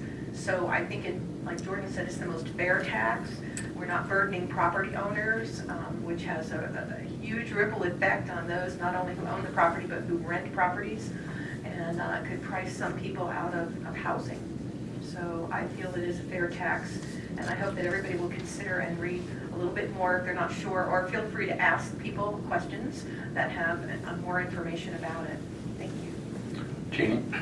Uh, yes, I'm also for the LB, um, three fifty-seven. Um, I agree that it is a shared burden, which is, um, the best for the taxpayers. Um, I think that if we want to continue to grow our community, that we need to replace some of the infrastructure and, um, uh, do some of these necessary, um, construction projects and that to bring in more, um, people to our community and grow it. So, yes, I am for it. Any rebuttal at all? Okay, next question is from Brad Staman, and Jordan, you'll be first to respond. There's been a great deal of uh, talk, both pro and con, about the proposed aquatic center. What are your thoughts about the aquatic center and the role that the city should play in, uh, in it? Sure, I, I think that's a very fair question. With the aquatic center, in, in my mind, the understanding is the aquatic center is something that is a later feature when we get the roads and the wastewater and the infrastructure up to date. The, the aquatic center is being, being really ran by another organization. But when they, when it talks about partnerships, they want to partner with communities. I think it's a great idea. One thing that um, I look at is being proactive in the city council. And so if we, if we talk about our current pool on Avenue I, we know that that pool is not going to last forever. And so we need to plan ahead on what our next steps are for that pool. Um, And when that infrastructure is costing us a lot of money to repair, the questions are going to come, what's next? And so I think that we really need to be proactive. And so my approach is, is that this is something that we can develop into a new indoor aquatic center, if you will, with an outdoor option. Um, Very high level still, nothing is set in stone. That's something that I think that we need to look at proactively. So I don't think that, uh, from my, from my understanding, that the city wants to be into any kind of uh, shape to, uh, to run it, the aquatic center. Terry? I will agree with Jordan on the proactive aspect by all means. Um, We do need to, you know, take a look at this, be conscientious of this, but we've got to be as well conscientious of a budget aspect. Um, From a budget aspect, we, or the past city council has chose to remove themselves from the splash arena um, because of what the cost of the facility was costing the budget of the city of Scottsbluff and the citizens. Um, LB 357 will play a role with, within this if it is passed. Um, You got to also take a look at the value and we do need to, in order to keep our kids living within this community, wanting to stay within this community, or bring other families and children into this community, we've got to invest within the community as well. Joanne? I agree. um, That is a concept right now, so the devil's in the details. So I wouldn't be able to say until there's, it's mapped out and going more toward production, um, what the city's responsibility should be. I, I do feel that the city should not be running it, but partner in some way. Maybe that will be through funding, LB 357 funds. Um, I am concerned uh, that it's not, education is extremely important, but a part of education and scholarship availability is sports. And we have some great uh, participating students and family members in swimming. And um, I think that this would be a huge loss if we don't have the availability. And I know that some people have considered moving out of the area to take their children to um, places where they can exceed in sports as well as academics. That's a well-rounded student and um, scholar. So I think, you know, in concept, it's a great idea. I would have to see more details before I could commit any details to that. But I really feel that we need to explore these kind of options and partner with private uh, entities that um, are stepping up and saying that they would fund a lot of this and manage it. Jeannie? Uh, yes, I, you know, I think that the city, um, uh, should actually partner with the private group that is, um, that is, has this concept going, especially with their, uh, swimming pools that are going down at this time. And, um, you know, what, a- what better way to grow our sales tax revenues? It's not uncommon for any of us families to drive three, three and a half hours to a location that has an aquatic center, spend the weekend, spend money at hotels, restaurants, shopping. Um, so I don't think that it's something that they should manage, um, but I think it would be a good concept for them to partner with, um, these private individuals. Nathan? I'm a little biased because I actually grew up with a neighborhood pool two blocks from my house in Omaha. I didn't have to cross the street. I was a pool rat. I think swimming is highly important in this area. I believe that at one time it was a requirement for graduation that you had to have swimming abilities. I don't know if that's been taken off the uh, requirements at this point. Partnerships, we haven't done so well with in the past. So that's the part that worries me a little bit. The location's another one. It seems that we already have three swimming pools, not a splash pad, but a swimming pool along the river. Like to see maybe some different options. We're into looking for different options for dumps and whatnot, so why not take, at some different options? Uh, Maybe up at college, get a college swim team going as well, draw more students to our community. Um, I can see it being used as a full-on park and rec center, maybe some basketball courts or volleyball courts, volleyball courts, not to compete against anybody, to give it a city uh, facility. Could be a great funding source. Growing up, I competed as a a little elementary school kid in the mayor's challenge, where the mayor uh, would host different neighborhood pools and have competitions. I served on as the uh, vice president of the Greater Omaha Swim League, from everything from the little 12 uh, swimmer uh, clubs to the, the uh, country clubs as well. um, community events can be done there. And I also see Altitude Training Center being utilized by adults as well uh, for greater things.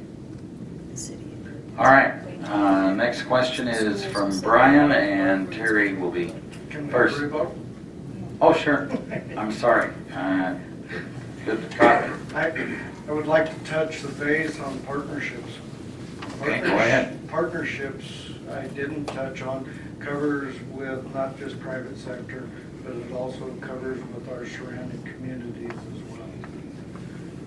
And then I would also like to touch on the aquatic center with the health aspect of it. Um, And this is gonna go in conjunction with our pathways, which citizens wanted years ago um, within the strategic planning. Anybody else want to say anything in regards to this issue? All right. Now Brian will ask the first question, and Terry will begin. What do you think can or should be done to shore up declining city revenues? Well, obviously, LB 357 is going to be an assistance of that. Um, You know, we, we do, we are the third lowest um, i- in the state with our uh, tax levy, as far as the city municipality goes. Um, In order to shore up the revenues, we have to bring people in here, we have to increase the economy. We can't one hundred percent sit there and survive off of the ag economy. We know the ag economy is struggling right now. And with that being said, we've got to bring business into this area small business, and, and not only just bring business into this area, big business such as Prime Metals, um, got to support the existing businesses that are already established within this community also. Joanne? Um, I agree, we have to support local businesses and we have to bring, um, new businesses in. And I think that, um, Star Wheel's doing a great job with bringing visitors to the area to show, show them what we have to offer. I think, um, who would have thought we had a zoo when I came here? We have a zoo. And, um, different entities, businesses, um, have their employee picnics there. And it wouldn't be unusual to drive a couple of hours to get to a zoo. We have a new exhibit with bears, um, that's, that's been promoted, and there's been fundraising done. I think, I think that, along with other attractive things that we have here and we hope to have, um, will bring people from the outside in. I think the, sh- the tourism could increase, and we could certainly work on that more. Nebraska's not for everyone, but it is for a lot of people, and there's a lot of things to do here. Um, So I think supporting local businesses as well as encouraging and trying to assist financially new businesses, small businesses that want to come here. Jeannie, you're next.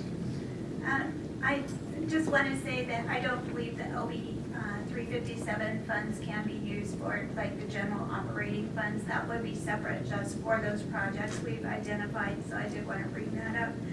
Um, So that wouldn't be an increase for our tax revenues. Um, I think that we need to focus as well on our existing businesses and help them grow as well as bring in new.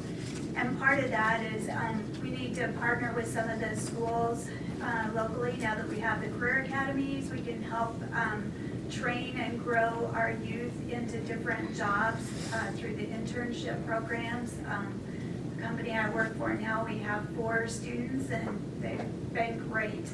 And, um, this will attract new businesses in. I know I've sat on the LB eight forty review committee, and that has been something that the new businesses have talked about, is partnering with those people. Um, so I think that's very important. I think we need to partner with our other municipalities in that area.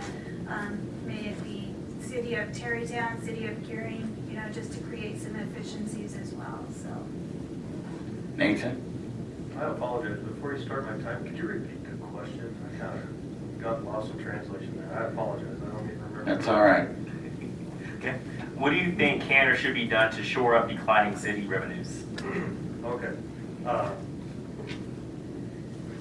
After listening to everybody's answer, I started being steered in the same direction, and I was just making sure that I was understanding your question. Uh, The last time I was at one of these uh, forums, there were similar questions about how are we going to bring in new business, new retail. Um, You know, that was four years ago, and I see we're coming up against it again. We've got a mall that's kind of in decline right now, hopefully turning around. Um, Broadway, we put a lot of money into to hopefully keep those small businesses there. Um, I, I would hope that we do our best to bring in different career opportunities, not rely upon retail as the only way to bring in retail dollars, but bringing in more residents that would utilize those retail sources um, to help us. So by growing the community, I'd love to see us grow by a thousand people in the next four years. Know that doesn't seem like a lot, but it's pretty huge. Um, I, I would love to see more uh, use of the college um, in bringing in different uh, career aspects or seeing what the kids are actually, kids, that's uh, consulting to the college students like me, uh, what their interests are and why they're going to school, to do what. Because looking around, if they wanted to be an astronaut, obviously we're not going to go to Scottsbluff uh, Air and Space Museum here. But what, what opportunities do we have and can we create to bring the population in to pay those taxes at the different retail sites? Jordan? If we're talking about shoring uh, up of declining revenues, I, I think I, first I wanted to start out by saying that the city has done, a- in the last four years and longer, have reclassified positions, have looked at positions before they hire and have waited to fill certain positions. So um, that's one way that, that um, the city's been diligent about what, what they, what they need. Um, Also streamlining processes, streamlining some of the workflows. Um, A good example would be like our central garage. Right now, what we do, we used to send out some of our vehicles out to get maintenance and uh, on the vehicles, and now we have a central garage where our vehicles can go into the central garage and we have employees work on those for some of those general maintenance that we used to send out. So that was just one way that we streamlined the approach to try to save some of our money. We always have to work within a balanced budget. The LB 357 is a tool that we would like to use, um, but let's not, let's not get the, get it wrong by saying that it's the end all be all. We still have uh, a five and six and 10-year plan for roads. It's just how fast do we want to get those, the infrastructure updated. We'll always want to increase economic development with businesses and continue to develop, continue to improve entrepreneurship in the area. We have a great school system here. We have a great college. We'll continue to work on those partnerships. But if we're talking about shoring up declining revenues, then the city is, is doing a, a a good job, in my opinion, of that now, and we'll continue. Anybody want a chance for a rebuttal there? All right.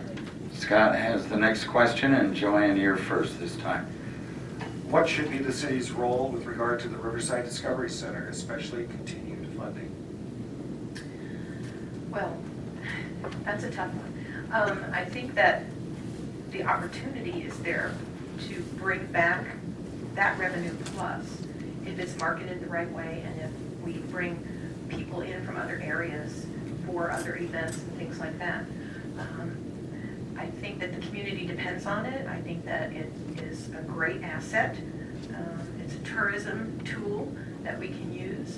Um, It's hard for me to project how much it would make, but I know that if we increase tourism, if we increase the uh, economic growth in the area and bring other people in, that zoo also, people do drive um, from two and three hours away to come to the zoo. If you just look at their, their logbook and, and where people come from, the majority of people come from um, out of town also. But local um, businesses have events there. It's a, it's a forum for that, and it's, it's a great family event. The hospital had their picnic there, and it was open to everyone, employees and families, and it, it was, it was monumental. People got to come for free because the hospital paid for this. People that probably couldn't afford it with four and five children at the time. So more events like that, uh, I think would promote the zoo. Um, I just think it's an asset that we wouldn't want to lose right now. So funding, um, we'd have to, to, to look at that. What would we lose by refusing to fund that? I think we'd lose a lot. Jeannie? Um, I do believe the zoo is an asset. Um, my understanding is, is that the city has helped fund it to get it to the point of being self-sustaining. And, uh, their revenues have grown over the past years, but not enough where they could, um, carry on on their own.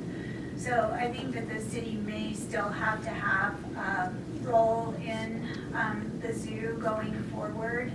I think they need to, um, continue to scale back and, um, try to get it up and running on its own, but they probably will still have a role going forward. Nathan? I think the zoo is looking to stand alone.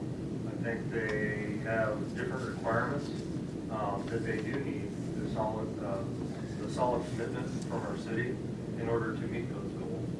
Um, I know in years past, the zoo, city, um, didn't have the best, um, let, let kind of a little sour taste in the mouth on what are we actually paying for and what are we getting.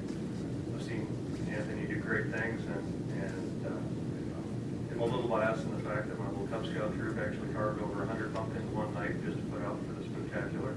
And, uh, got to know some of the employees and volunteers there, uh, probably a little bit more, uh, and being able to just say, oh, I've been to the zoo and I saw the animals, I feel a little bit apart, even though I'm not a, a member. I pay my daily fees when I go in there. Um, but they do have a splash pad, which is fun for the kids. Um, you know, not a pool, but a splash pad. Um, and it's fun to go to to wash your feet off in case you got a little, uh, peacock, uh, droppings or something on them too. It's a little funny. Um, I, I think that they do need our backing to be more successful. And when they have an opportunity, be able to rely on us to expand, uh, kind of at a moment's notice, so they do that. Jordan? Yeah, I think um, with the Riverside Discovery Center and Anthony Mason, he's, he's doing great things there.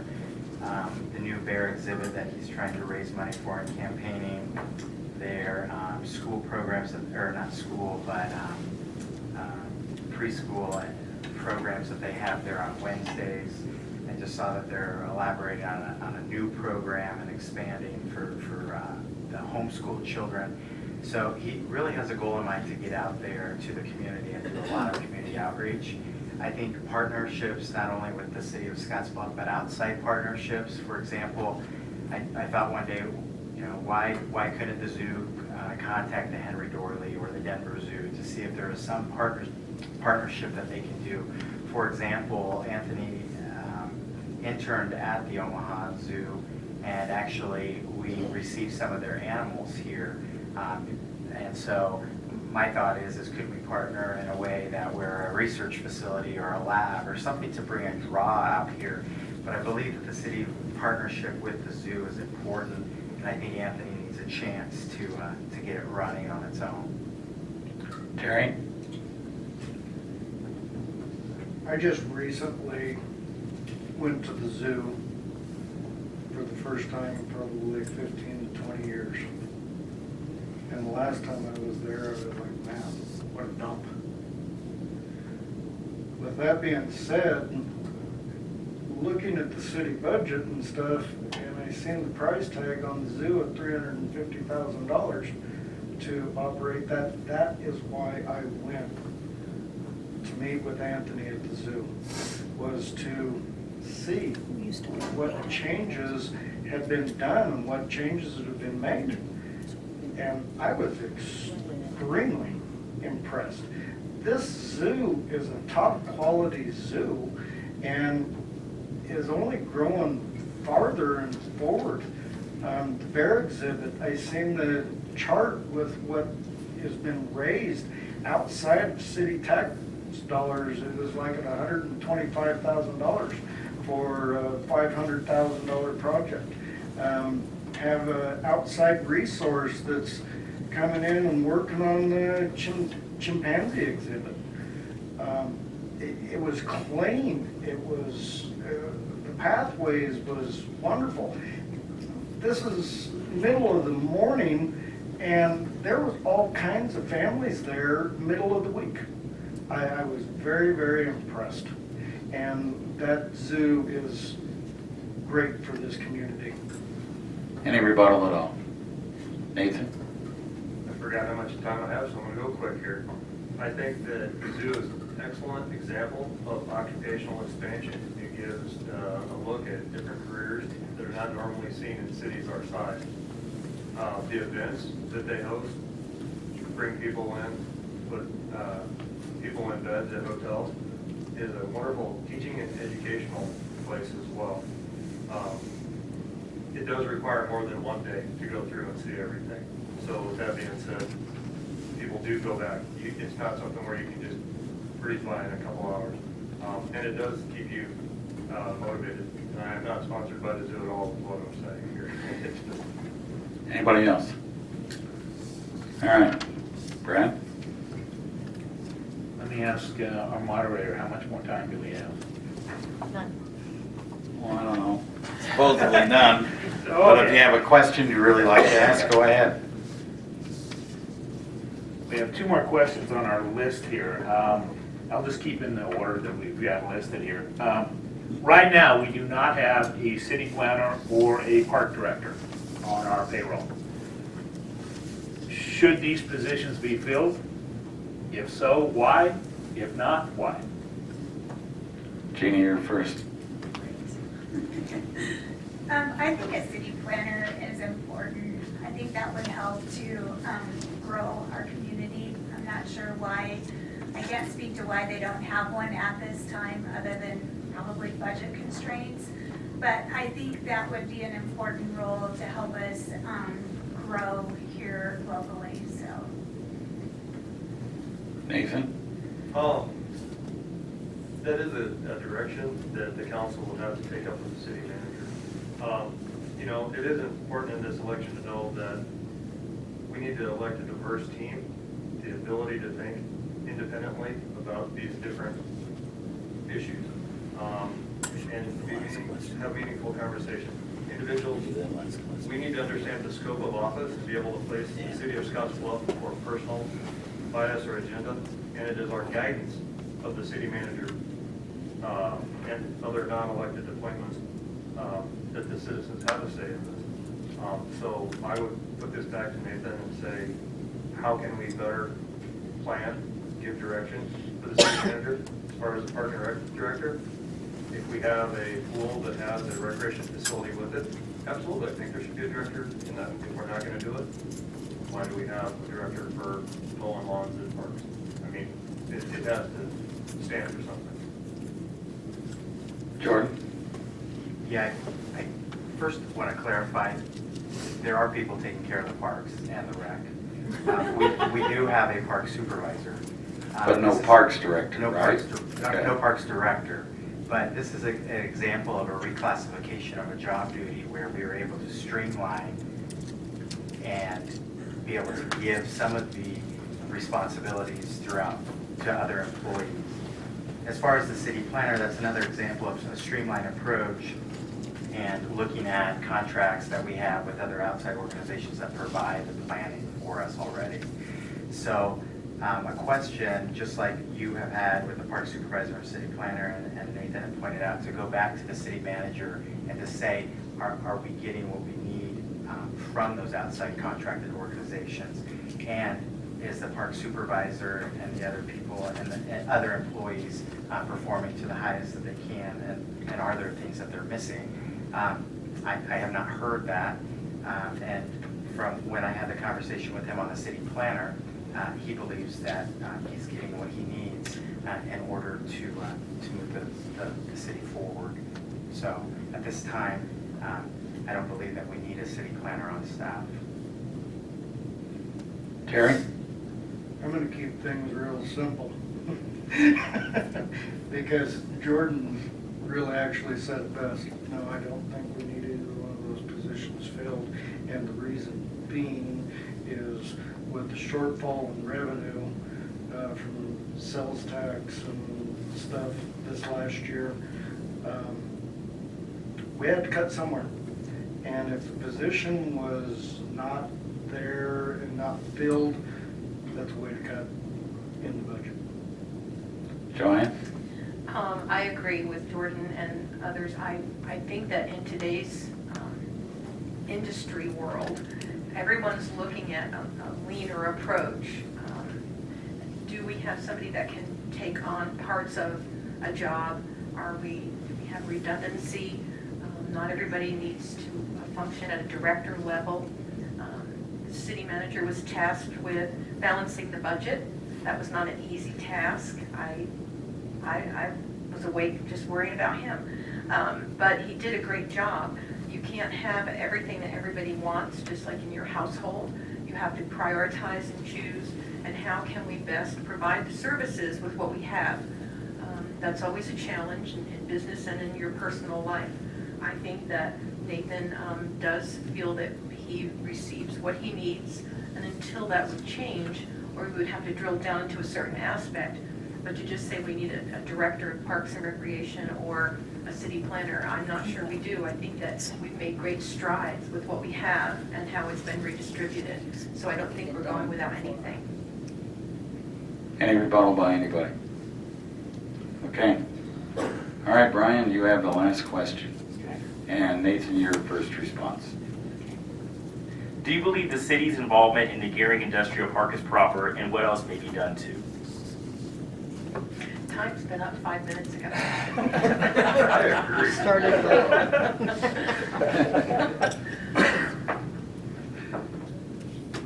I live in Scotts Bluff. I would like to see more things come to Scotts Bluff. I remember when I moved here eight years ago, it was Scotts Bluff and Gering. The partnership came there and then it became the Sugar Valley. We included many other communities and now I hear it being referred to as Gering Valley. Same part, have we shifted all the